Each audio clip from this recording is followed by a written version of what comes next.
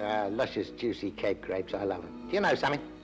Cape grapes for afters instead of stodgy puddings keep me live, lean, a magnet to women. Not while I'm eating, John.